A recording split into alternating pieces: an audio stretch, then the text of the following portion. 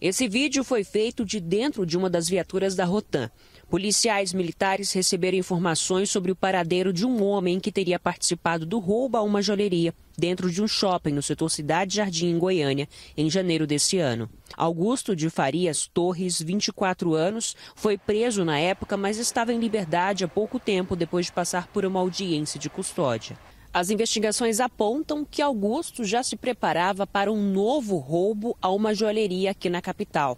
Mas, enquanto não colocava o crime em prática, decidiu se esconder em uma casa no bairro Industrial, em Goiânia. O que ele não contava é que o seu paradeiro seria rastreado.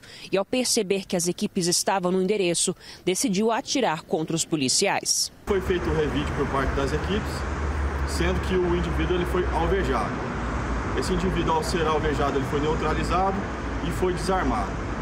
Com ele foi encontrado, além da arma de fogo que foi utilizada para atentar contra a vida dos policiais, também cinco peças de maconha. Segundo a polícia, o homem colecionava oito registros criminais. Cabe reiterar que esse indivíduo criminoso, ele era especialista em assaltos à joalheria e também possuía uma vasta ficha criminal, como associação criminosa, tráfico de drogas, é, homicídio qualificado e roubo qualificado. Em janeiro desse ano, Augusto e outras quatro pessoas foram presas por participarem do roubo de mais de 250 mil reais entre correntes de ouro, relógios e outras joias. Esse circuito de segurança mostra quando Augusto e o comparsa descem da moto roubada e vão em direção do shopping. Nessa outra imagem, já do lado de dentro do shopping, a dupla aparece no corredor e entrando na joalheria. Armados, renderam os funcionários e levaram tudo tudo o que podiam. Depois do assalto, os envolvidos se dividiram para vender as joias.